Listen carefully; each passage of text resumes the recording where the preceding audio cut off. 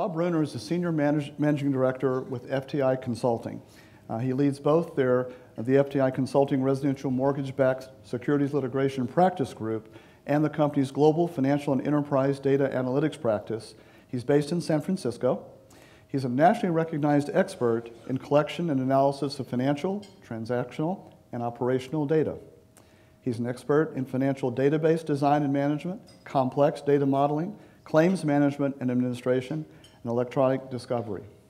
He's testified in large scale data analysis, electronic discovery, discovery management, financial fraud, and methodology development. He served clients in many industries, including the financial services, manufacturing, government, healthcare, and the telecommunications industries.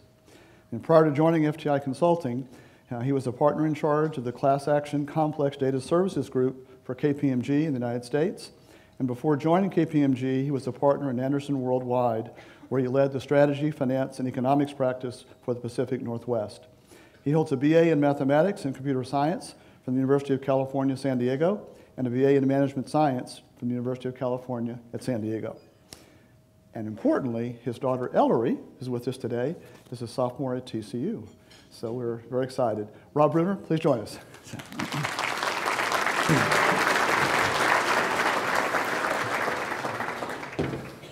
Thank you, Homer. Welcome. Again, we have a lot to talk about, and again, what we always would we'll do a little Q and A, and then we'll open it to the floor because again, there are just there's a lot of interesting information. But why don't you start off and tell us about FTI Consulting? So, who is that, or what's that company? What's that organization about, and what kind of things do you do? So FTI is a, excuse me, uh, FTI is a, an organization, it's a public company traded on the New York Stock Exchange, about 4,000 professionals, 5,000 um, employees globally. And we help companies through sort of business events, business crises.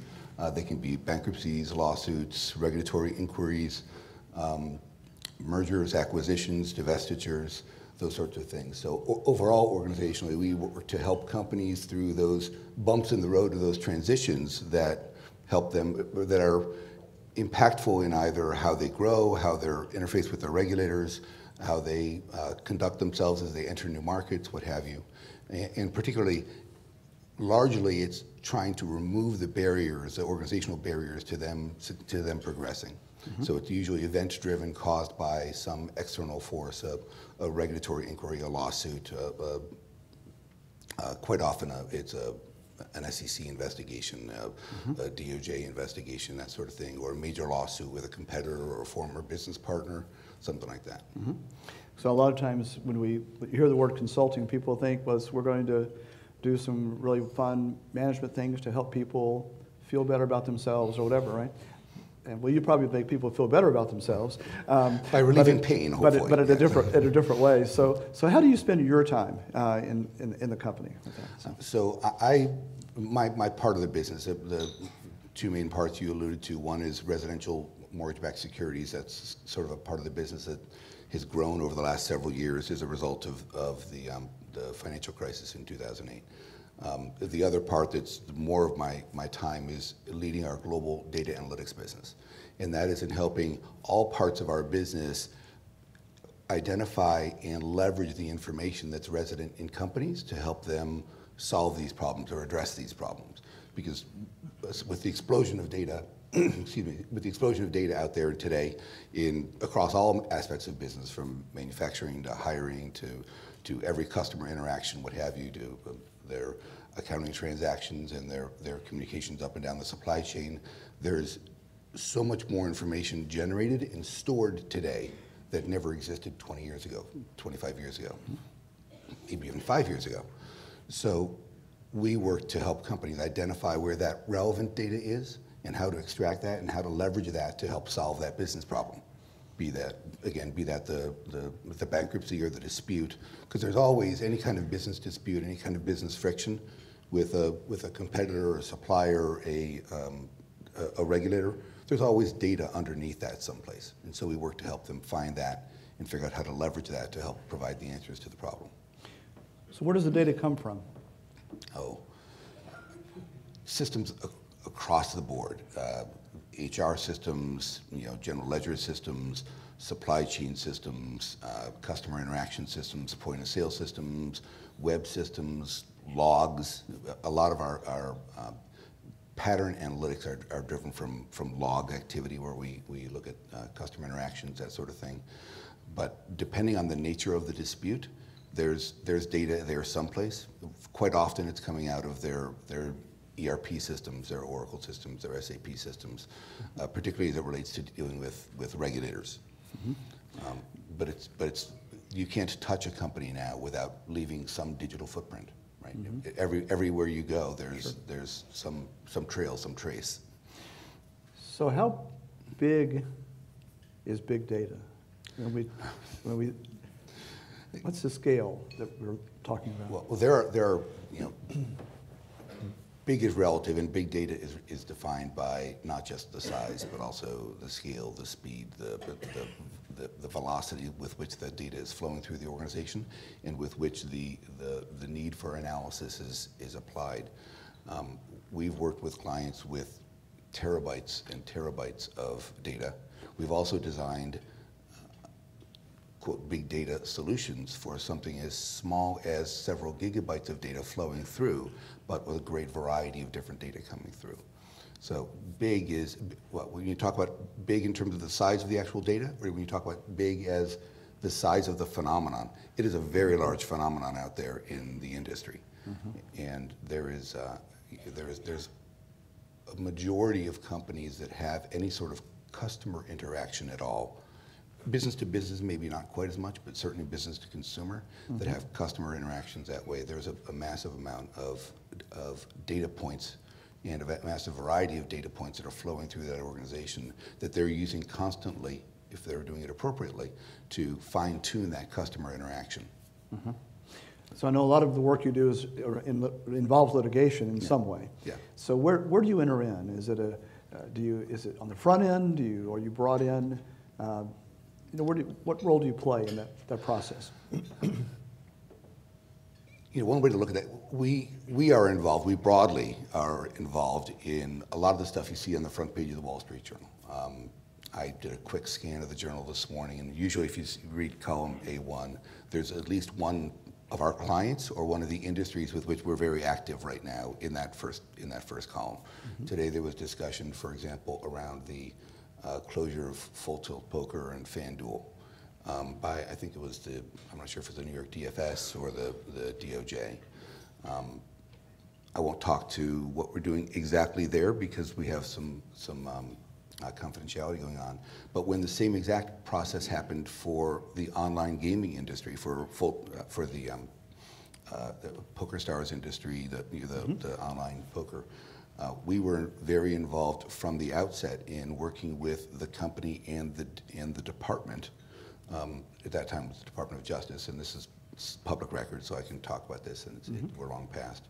Uh, but in helping provide a level of monitorship and oversight of the company, that they were not transgressing any of the strict restrictions that the DOJ had put on them.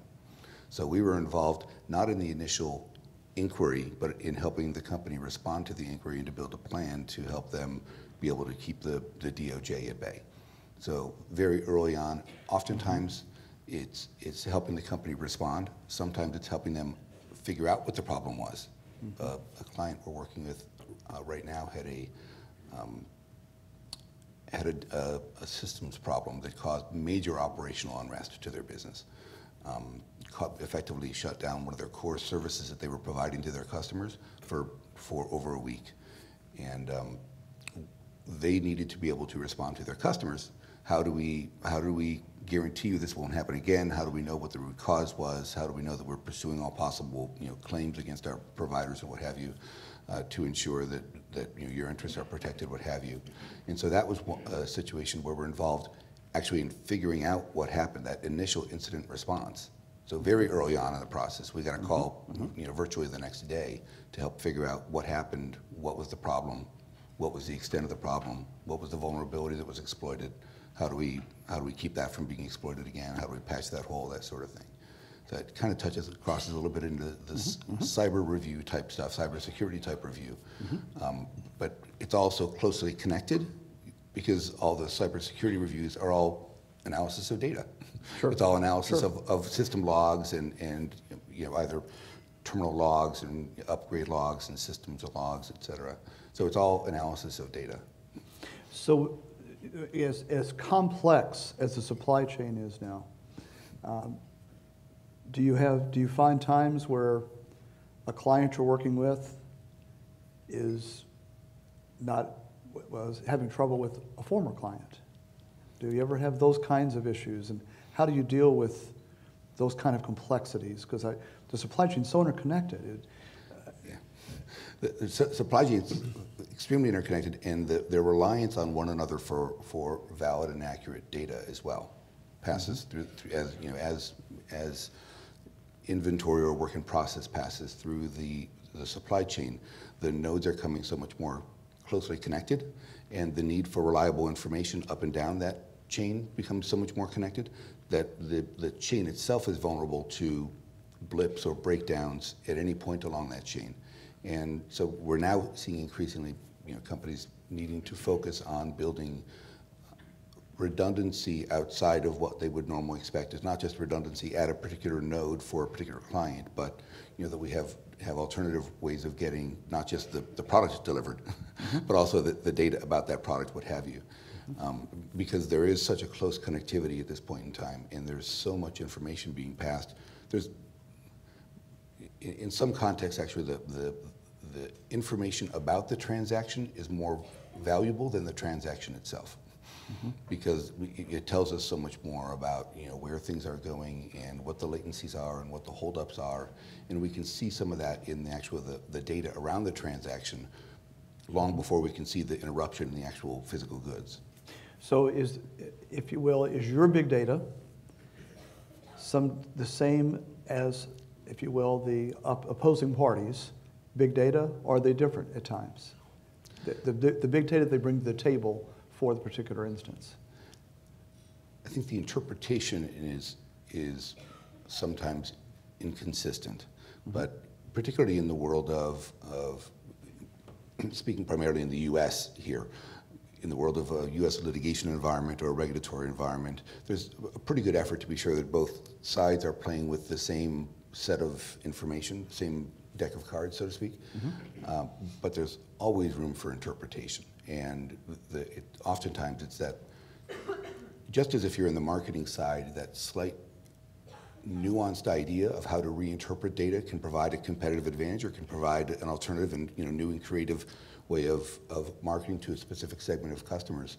In the context of a dispute or an issue with the government, a slightly alternative perspective on how to view that data and how to interpret that data can go a long way toward either advancing the ball or advancing the cause, that sort of mm-hmm. thing. So you're speaking to the difference then, really between big data and analytics and what you're doing with that data, right? So how, how do we, can you talk to us a little bit about what's the difference in when we, you hear the term big data and then you hear analytics? Now what's, what, what's different about those?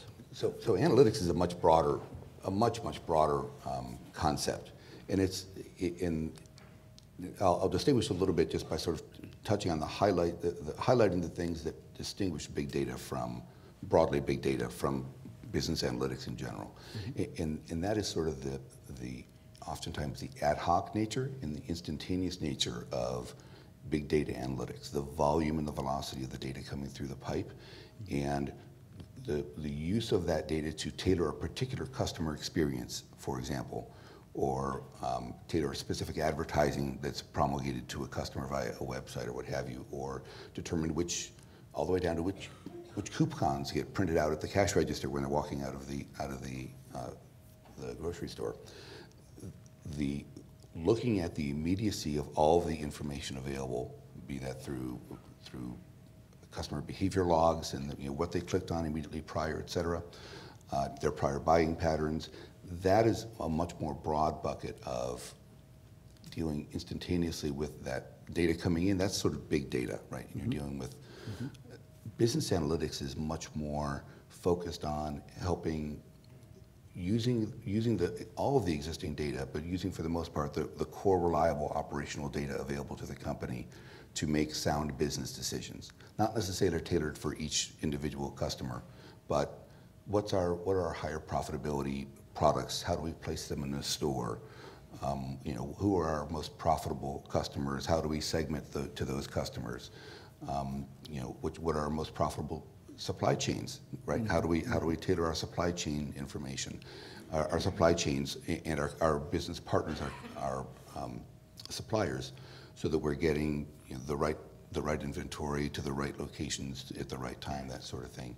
That's that data doesn't doesn't shift as dramatically. It's not a daily instantaneous sort of analysis, um, but it's core to virtually every operation the company entertains at this point.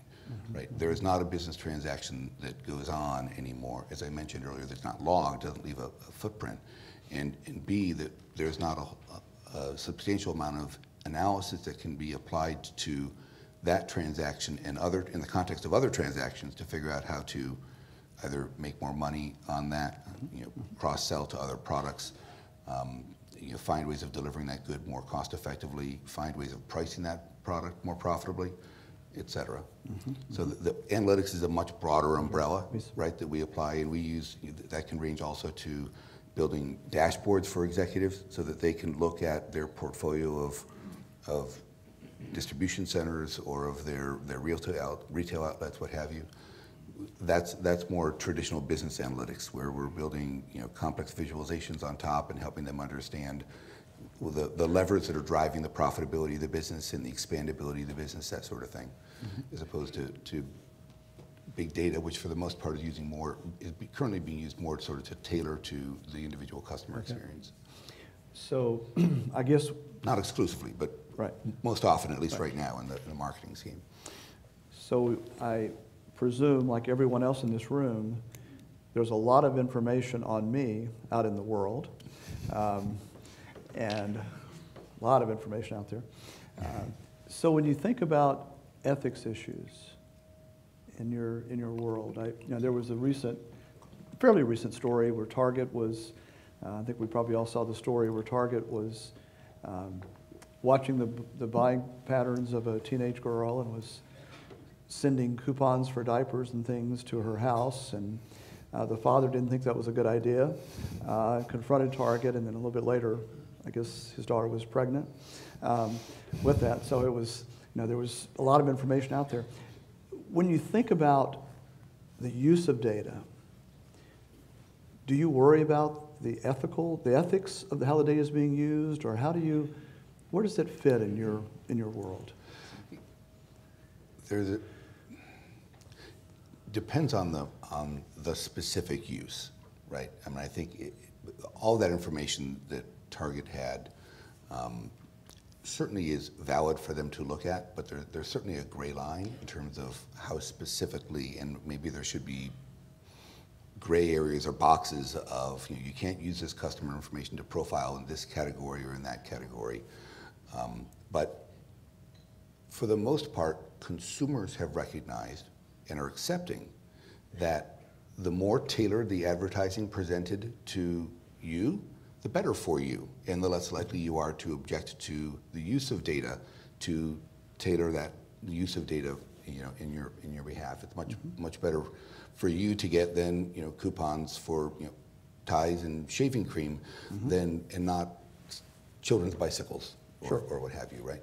Mm-hmm. And a broad, there's a broad study I read uh, about a week and a half ago, two weeks ago, I forget where, I can't source it, um, that, that showed that in the grand trade-off between sort of privacy and tailorization, that uh, at least in the U.S., um, contrary to all protections that, that you might think, consumers are willing to give up a little bit on privacy in favor of personalization of the delivery of you know, coupons, products, recommendations, what have you. It, So it's a very interesting trade-off. There is certainly gray, gray area out there, without question. Um, the, the, the further risk i that we have is when customers don't sort of adequately protect that data. Not necessarily the inferences they draw, but the raw data itself Sure. on customers' buying patterns. And, and you know, there is a lot of concern about about moderating and reselling of that data to third parties. Um, there's some, uh, I think there was press Monday of this week about Bank of America deciding that it was not going to sell its data to data aggregators mm-hmm. for fear that it was being misused, and mm-hmm. and that customers weren't weren't approving that and, and didn't fully appreciate what they were agreeing to when they clicked on the little box that said yes, you can share it with this data aggregator. Mm-hmm. So the the step to data aggregation and you know those ultimate secondary and tertiary uses that you might not know about, if as soon as you sign that data away or give that data away, you've lost that control. Right. Uh, You work across industries, so Yeah. it- does it, does it matter whether it's healthcare, whether it's residential bank mortgages, in terms of the, the privacy issues? Do you think that's, a- There are the sort of three broad categories of, of confidential information. There's, there's um, HIPAA protected information relating to, to one's health. There's PII, personally identifiable information, which social security number, birth date, that sort of mm-hmm. thing. And then there's a PCI, which is card level information, credit card authorizations, that sort of thing. So those are the three large buckets that are largely con- considered to be highly protected and mm-hmm. regulated each according to their own their own laws and regulations, what have you. And the protections around each of them are different, mm-hmm. right? The, but but you'll see working in the different industries, the degree to which the industries take significant steps to protect the confidentiality of that data, it, it's much, much more so than anything you would see in, in um, for example, retail industry, they take protecting the card information very seriously because that's the, the piece of personal information that they get. Sure. Right? The financial services companies, they get your, your bank accounts and, and your um, social security numbers and dates of birth, that sort of thing. And they take great care to protect that. Um, health insurance industry, the healthcare industry is an order of magnitude more complex than it would be because of HIPAA protections and the exchange of information. And every time you go to see a doctor, you have to sign a release to you say, I'm authorizing to, to provide this to their. So the, the, the constructs that have been put in place to limit the repurposing of that data are quite substantial at this point in time. So repurposing there's actually some interesting some interesting applications out there. The repurposing of that specific data out there is much more limited because of those sorts of protections. But there are some companies out there doing really good things to anonymize that data and yet make it available. There's a, a company out in the Silicon Valley, uh, Practice Fusion, which provides electronic healthcare records, and they provide them to a doctor's office free in exchange for paid advertising. So, you know, the medical device makers may pay them to advertise, the, the pharmaceuticals may pay them to put banner ads in there, what have you. But they're providing this medical, uh, electronical, um, electronic health record, medical record, and they are they are now in so many doctors' offices and, and um, uh, medical systems that their population of patient experiences they can anonymize and you can still track sort of the history of what's happening to ex patients with this diagnosis mm-hmm. and how they're being treated and what the cost of, of treatment is and what the preferred treatments are mm-hmm. without getting to, oh, John Doe had this particular treatment and that sort of thing. Mm-hmm. So they're finding creative, the market is finding creative ways outside of what the government might be trying to do. It's finding very innovative ways of, of making great value, creating great value while still trying to protect the, the patient confidentiality. I happen to find that that's a particular sort of instance that the government could never have possibly created. It would have taken decades and, and thousands of pages of legislation to create something that Practice Fusion did with probably you know, $20 million of venture money. sure, with that? And it's an extremely valuable source of information now. That's a great Oh, asset for Absolutely, them. absolutely. absolutely. So are we, are we regulated sufficiently? I know it's going to be different across industries, but are we regulated sufficiently, too much? In, in- within the private data, our big data analytics world? I think we're, I think we're, the market, I think, will force us to continue to, to monitor appropriately. And regulation aside, when we have a, a major breach, a, a Target type breach or a Sony type breach, um, that forces companies to recognize, hey, look, we need to step up, we need to step up our data privacy efforts here. Um, and, and that's, that has nothing to do with whether or not the, the DOJ is going to find them. Has more to do with the reaction to, to of their consumers and of their shareholders who are punishing them for having, you know, uh, exposed the company through these breaches, that sort of thing. That? So, and that's an example, you know, they, there's an estimate I read that I think there were over a million, or I'm sorry, over a billion for, um, individual breaches last year, breaches of customer information last year. So over a billion consumers had one aspect of their data exposed last year Wow. inappropriately. Wow. So that will have to go down Yeah. eh, because customers will, because institutions will start to feel the backlash from their customers. You know, Target saw a huge hit.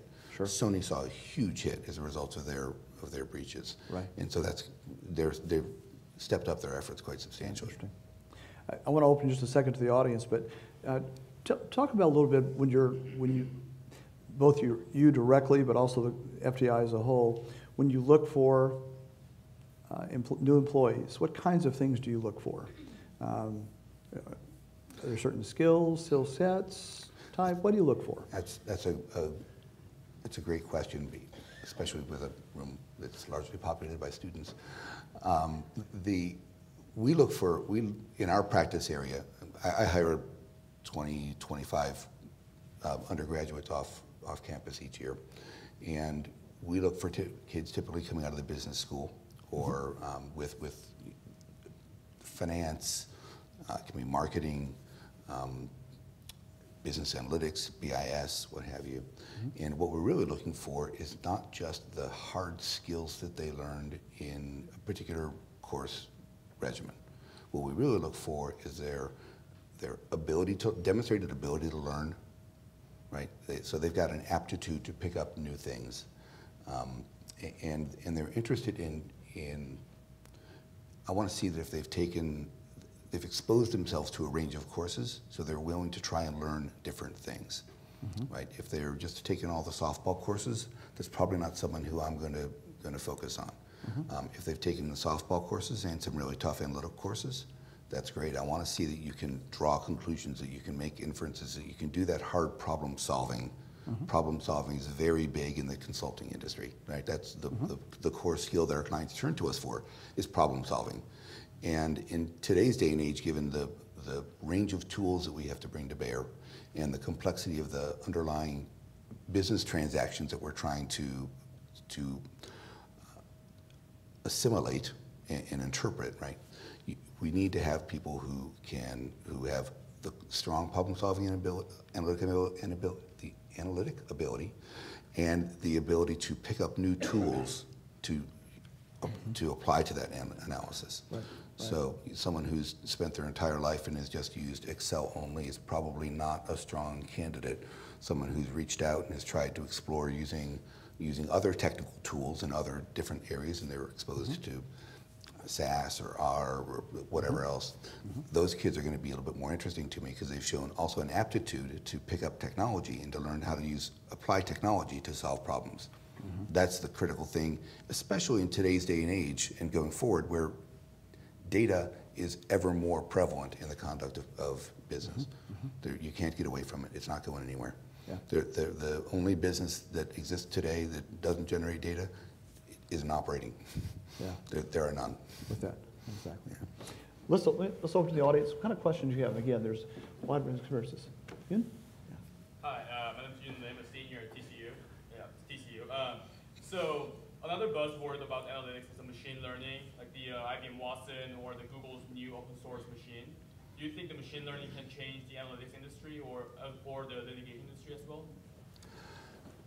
So there's a, a large application for things like Watson, right? The, then the, the types of problems that Watson can answer are not the types of problems that we might answer in the context of a litigation or a regulatory inquiry, right? They're, they're, they're kind of almost kiosk questions, right, that, that Watson can answer. There's a, a defined population of, of data that, that Watson can go back and, and query on a regular basis and derive at the right solution that's certainly going to steer a lot of how I think decisions are made in, in certain applications of the economy, but there are places where, where it's not going to be able to make a difference, not, not a meaningful difference. Um, be, and that's largely because the, either the, the data is too, too much in flux uh, or in contest, or the sort of the contours and the context of the, the dispute and the, the, or the issue trying to be resolved are so narrow that it would take more time to program into Watson than it would to solve it directly, right? It's a, it's a great solution, um, and it's a great solution for things, you know, the questions. I, enjoyed my trip to Europe last year. You know, where should I go on my vacation next year? Watson's going to actually give you probably a decent answer to that kind of thing, right? What are the attributes? Come back. What are the attributes of, that you liked in your vacation to Europe, et cetera, et cetera? And Watson can come back with some good, solid recommendations. I, I, without oversimplifying, it's kind of like the Amazon book recommendations, right? If you like this, you mm-hmm. might like that sort of thing. Sure. Um, but, but that's not going to be applicable to the entire industry of, of business analytics. And, and Watson does not make business analytics go away. Machine learning does not make business analytics go away. Actually, it increases the demand for business analytics professionals who can figure out how to interpret, apply, program, and, and leverage those technologies to make businesses smarter, to, to enable businesses to make smarter decisions. Those, those technologies don't make decisions by themselves in a vacuum.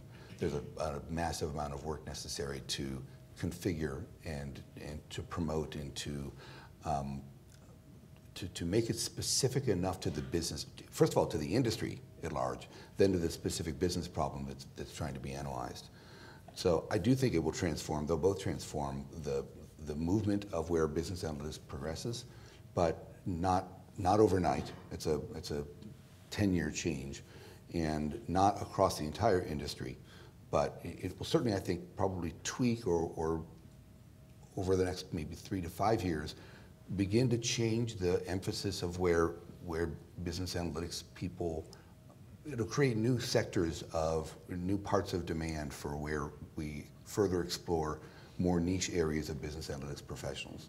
Right, the field is constantly growing. The field of business analytics 15 years ago barely existed.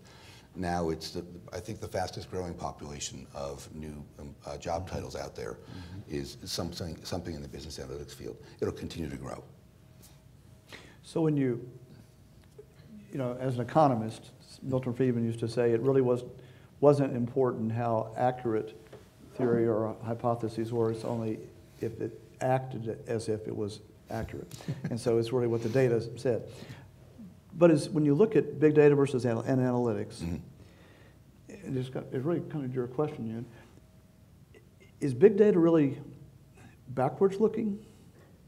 So it it seems to me the value in predicting, in big data's prediction, is for today, based upon the past, but based on today, so long as conditions don't change, the fundamentals change. If, if they change, it seems like, is that where analytics has to come And, in? and it's constantly changing, by the Yeah, way, right? yeah. That, that profile, even even if you use, say, predictive analytics, let's let's um, uh, create customer segmentations. We've identified our half a dozen different buckets of customers.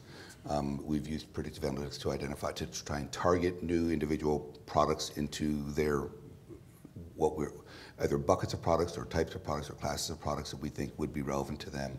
Mm-hmm. Um, those those segmentations, for example, constantly change as as the the buying patterns continue to accumulate, and we learn more, and we may be able to, to dice more finely and to make n- next recommendations, more refined recommendations. Mm-hmm. Uh, but even those customer interactions, every every action you make today in- reinforms what the next prediction is going to be, and and may reinterpret. Well, maybe you're making the transition from uh, one of the, your guests last year used uh, customer segmentation to talk about the, the, the you don't want to rent a, uh, rent a house to a bunch of frat boys, Right. a, a bunch of a bunch of Sure. fraternity girls. You probably don't want to. You really want to rent to the 25 to 36 year old women because they're the ones who are actually making the, the CEO of HomeAway. Mm-hmm, Um, those that's the bucket of people who you really want to be making Sure. making um, uh, targeting your sales to, what have you, right? Well, people move through that demographic, and that demographic over time is the millennials. You talked about that. As the millennials progress and their buying habits change, they move uh, sort of out of Airbnb into v- VRBO sort of thing. Sure, sure. So the, the market dynamics are constantly changing that you, you need to constantly be adapting this. Yeah. predictive analytics are, are very helpful, but they're, they're not, they're not finite. They don't, the, the, the universe doesn't end. Yeah, with that. Right. Yep. Other questions? Yes?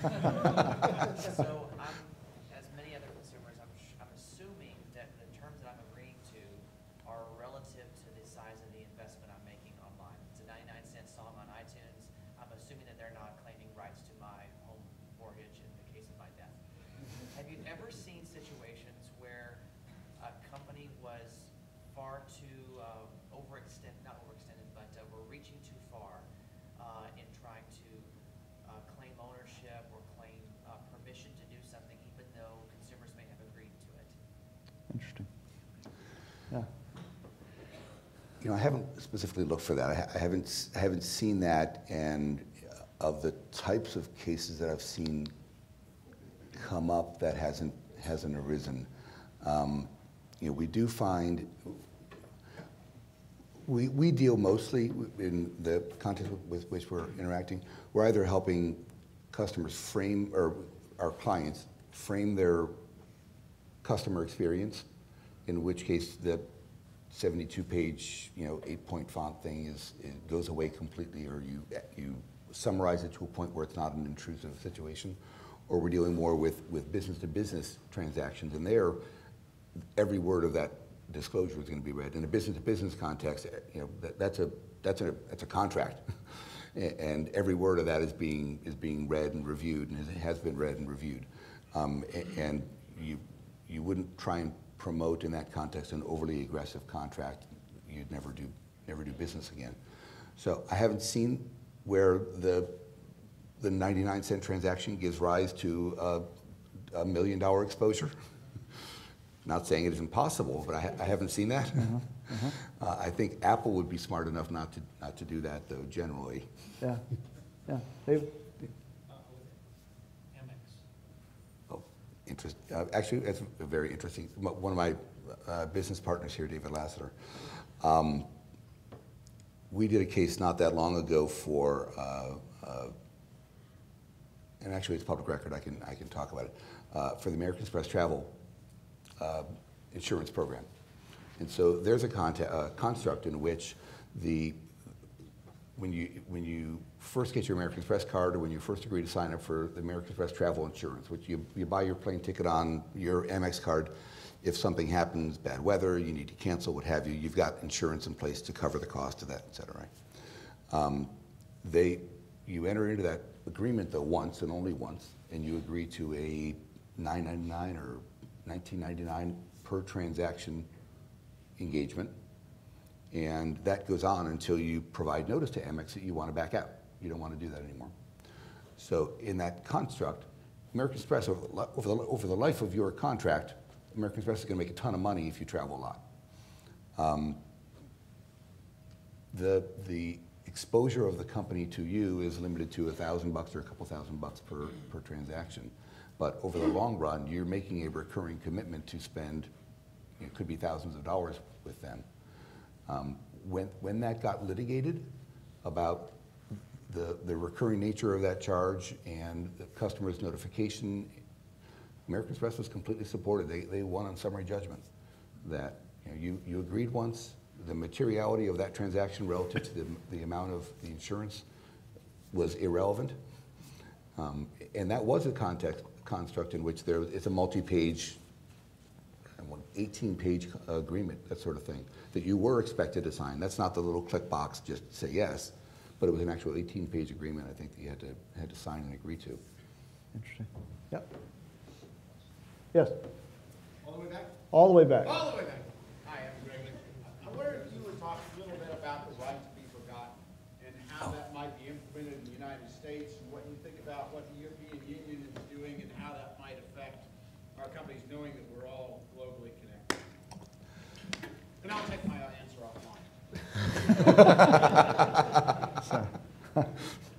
It's the worst idea ever, honestly. the, the, the whole, the, the, so I'm not, I'm not current with exactly where it is, but I understand the latest argument is that, that the Googles et al. want to say you can be forgotten in Italy, but you're not going to be forgotten here in the US. To the extent that that transaction came through the US and is recorded on, it might have been reported in the, the New York Times or in, in any US transaction, that that transaction is going to live, continue to live here in the US.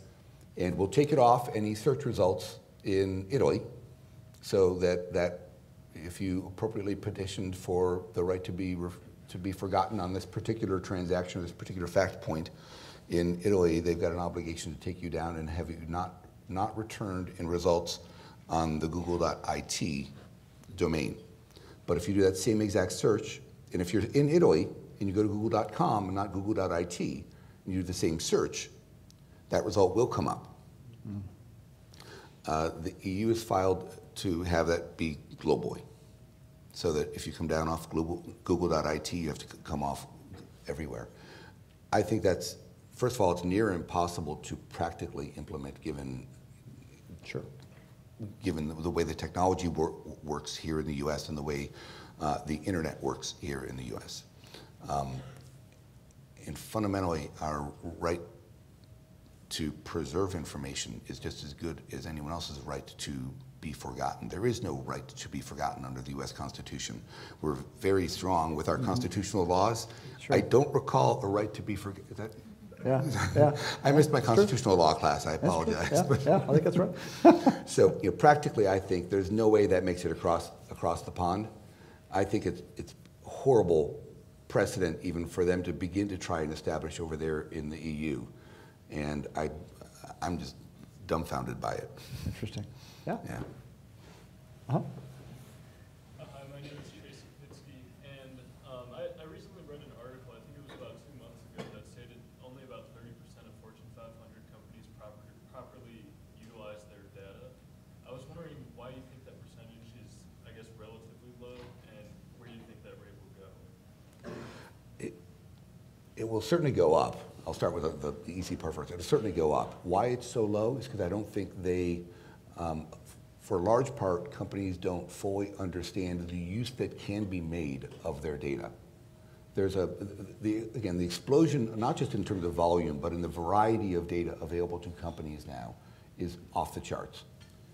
And, and as I mentioned earlier, you've got, you've got biometric data streaming in, you've got supply chain data streaming in, you've got so broad a range of data avail, now available to companies, both user-generated, customer-generated through their interactions with the company, and generated by the company's interaction with its business partners and its customers and its suppliers and what have you.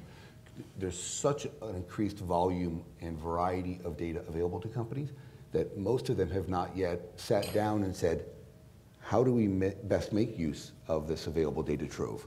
Right? How, what, how can we improve on our supply chain by analyzing that data? Mm-hmm. How can we improve on our customer experience by interacting and improving our use of, of this data? How can we improve on expanding into new products based on what we've seen customer behaviors being here? The, the volume has increased so dramatically and the variety has increased so dramatically. Most companies haven't sat down and said, we need a digital strategy to how to harvest and how to maximize the value that we derive of this asset. Data is an asset. Um, it, it can also be a liability in the wrong context, but, Right. but data is, a, is an asset. Very few companies have a chief data officer. Most companies have a CIO at this point, but very few have a chief data officer. And if you think about that as a core asset of the company, there's a lot of value that can be derived from that, from, from banks and hospitals and virtually every, I mean, there are companies whose sole existence is just, they, they conduct no business themselves, they just broker the data amongst everyone, and they make tons and tons of money. Uber is one of those. They don't actually do anything. All they do is connect your phone to some guy who's in a car out there. They don't do anything, mm-hmm. right? So they figured out how to make, how to make value out of data just flowing to and fro. They have a chief data officer, by the way. Most companies out there don't have anyone who's truly focused on maximizing the value of the data that is available to that company. What about the other side, though? The, the risk side? Is there a vulnerability if companies are too dependent on big data and or analytics, where there's, I don't want to say a terrorist attack, but a, but a breakdown in technology, in, in the technological infrastructure we have, is there a vulnerable, can companies become too vulnerable if they're overly dependent on data? We, we have seen companies that, that don't have adequate protections in place and redundancies that expose themselves. And then when they have a, a failure, it really literally causes the business to stop. Or it causes them to stop being able to produce, to manufacture, to provide some service, what have you. Um, but that's, for the most part, that's all addressable with, with secondary and tertiary levels of redundancy, mm-hmm. right, throughout the computer systems. Having backups not just to the physical data set being copied, but backup data providers and backup providers of inter- intermediate services and what have you. And you can build enough redundancy around the provision of data services and of, of information services that you can probably safeguard yourself against anything short of a massive um, industry-wide sort of corruption of some sort. The, the one place where where you, you can create a vulnerability or a risk or a liability, though, is over retention of some data. And that is, you know, what's important to, to be able to maintain and, and leverage is specifically all the operational data, the transactional data that, that flows through the, the, the company. But you can keep too much email. Sure. Right, and, and, you know, you've got IRS regulations, what have you, or, or uh, SEC regulations, what have you, putting restrictions on what you need to maintain. That's one area, though, where you're well advised to get rid of data as soon as you can. Right, sure. Because 10 years down the road, nothing's good going to come from an old email. Right, That just right. doesn't happen. If there's anything good come from it, it came in the transactions, right? We don't want to see the commentary that, that got to, you know, what convinced you to have this transaction or that transaction, that sort of thing.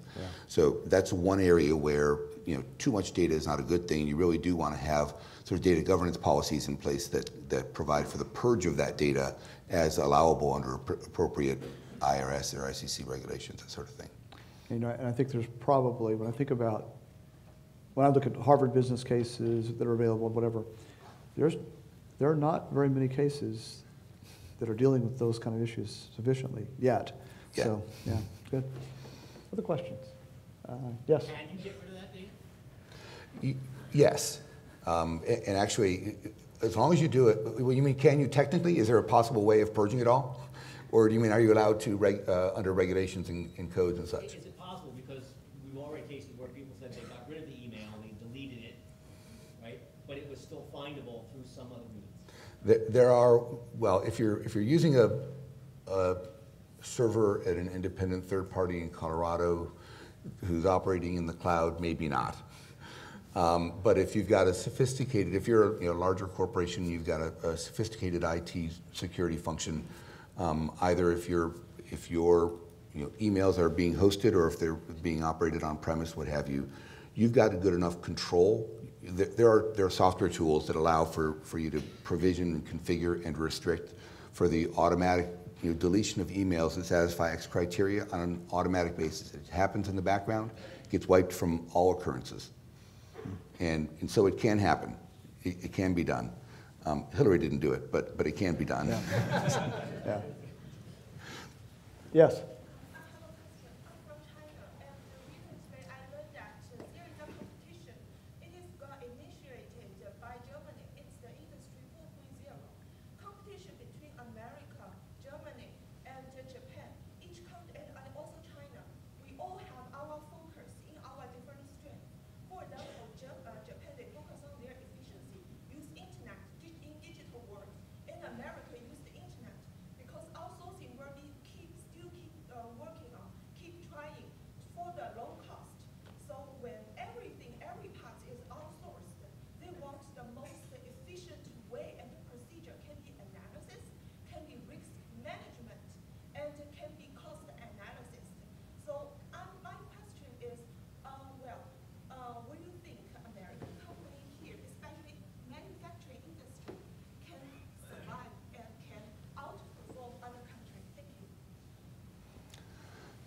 Big question. It's a big question. It- it- It's a, it's a long-range question is, is really what it is. And I think, you know, each of those economies, Germany, US, Japan, China, um, has its core strengths, its core attributes right now that are currently driving its economy. Um, But those, those develop over generations, and they refine over generations. And they adapt to whatever the, the external pressures on the developing, development of the economy are. And so in that, in that context, I think, yes, you know, American manufacturing is not going completely away. Actually, there's been a little bit of a resurgence. There's some, uh, you know, some connection to having local sourcing, which is uh, another external force influencing the economy that's driving the, the promotion of those sorts of ideas. Um, I think each of those economies will look very different as they adapt to risk management and, and analysis. As you said, there is risk certainly of doing business as um, various entities have seen from, you know, across the, Sure. the various economies in having your operations too diversely flung or having your supply chain too long or having uh, parts of a car cross the border back and forth to Mexico too many times. Or there, there are risks all throughout. As you say, risk management is a key part of, of looking at how you might supply, fill your supply chain and, and build out your product. I, I think the economies will adapt and they'll continue to evolve such that each of them will always try and develop consciously or unconsciously a competitive differentiator between the other parts of the, the, of the economies. And they'll continue to find a way to operate. I, I don't know that there's that it's optimal any place or ever. I'm not sure we'll ever get to an optimal economy. We have time for one more question. Exxon has just been indicted for publishing data and results that are wrong with the uh, opinions of the New York Attorney General. Do you think that data will become more and more politicized and that we'll be in danger of making decisions based on partial data sets in the future? This is, this is the, uh, the partial PowerPoint that was divulged, that they disclosed, where the, um, uh, they had one internal scientist who said that maybe there is some climate change out there, that, that the end is near and we should be concerned with it. And notwithstanding the context of the much broader thing, saying not really in the bigger picture, not, not, not a problem absolutely data is being politicized and you know we're seeing snippets of well a we're seeing snippets of large documents. B we're seeing snippets of large analyses. And it's very much being politicized to drive agendas. And every aspect of data is, is going to continue. People are, data is available. It can be analyzed appropriately. It can be analyzed to whatever end you want really. You can always find a way of spinning things. Um, there is certainly that, that's a prime example of, I mean, Exxon published, uh, I don't know how many research papers on the, uh, the risks of climate change. They disclose the risk of climate change as a, a driver of their business and a risk to their business in their, in all their SEC filings, what have you.